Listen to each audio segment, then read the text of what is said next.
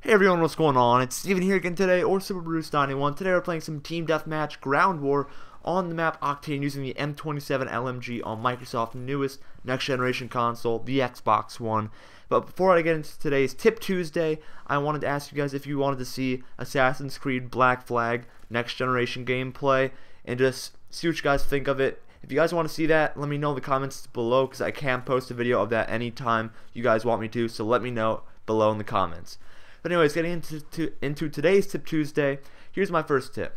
Use speed perks. When I say use speed perks, this goes for almost all game modes except for cranked because when you become cranked, you get a lot of the speed perks like agility, stalker, and stuff like that. But speed perks are very, very important, whether you use them on your specialist bonus or you just use them as your normal perks on your class setup. Highly recommend using a few different perks there's going to be a perk called Stalker, which pretty much gives you faster sway, swaying movement speed while aiming down your iron sights. That is extremely key in this game. It really is, guys. I mean, with an LMG, if I don't have Stalker on, I will move so slow when I aim down my iron sights. Being able to move while aiming down your iron sights is so important no matter what gun you're using, so I almost have to say Stalker is a mandated perk to use. Also, stuff like Marathon Agility, those are optional, but Stalker you need to have or you need to have quick draw or the one that allows you to pull up your gun a little bit faster. You need a few of those perks to be effective in gunfights. My next tip is not a very obvious one. It's not something that I'm very good at, but I'm trying to get better at it as I go along. And that would definitely have to be running. I like running in this game a lot because it gets you places faster, right? But what you gotta learn in this game, guys, or any Call of Duty for that matter, is that if you're running too much, the odds of you running into a guy who's with his iron sights already up, you have to pull your gun up and start shooting at him. So you're at a huge disadvantage. So try to limit the amount of times when like you're running or strafing, um, because the more that you run, the longer it takes for you to pull up your gun in the event that you see somebody. So having your gun while not sprinting is definitely a huge advantage when it comes to gunfights around a corner or something along those lines. Because if you are sprinting, odds are that person is going to easily kill you. My next tip here today is whenever you're running in a full party or group, make sure your teammates are not all running specialist bonus because that's really for KEM strikes. If you're running solo, you can use that all you want, but whenever like you're playing with a bunch of friends, I don't recommend using stuff like specialist. Use something like assault or support because you know, assault and support can actually help out your teammates, but specialist is just kind of the selfish way I kind of think.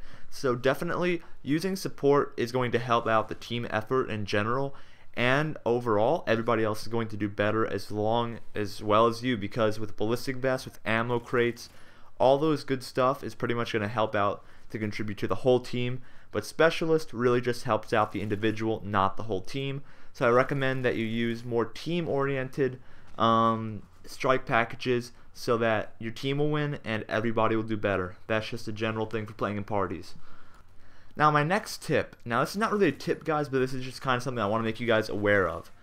If you play on the PlayStation 3 or the Xbox 360 currently and you plan on getting a next generation console, do remember that if you are in the same console family as let's say the Xbox 360 going to the Xbox One, your multiplayer stats and your Xbox 360 Live account carry on over into the next generation version of Call of Duty Ghosts, so you don't have to restart from level 1. But on the other hand, if you go from the Xbox 360 to the PlayStation 4, you lose all of your information, you lose all of all of everything on Call of Duty Ghosts, and you have to restart all the way back at level 1. So do be aware of that when you are deciding which consoles you possibly are interested in buying, because that definitely is a consideration um, in which version of Call of Duty Ghosts you want to get. But anyways, guys, that is all the tips I can get through for today. Before that commentary is wrapped up, just want to let you guys know I'm going to be getting quite a few new games like Dead Rising 3. I already have Assassin's Creed's Black Flag.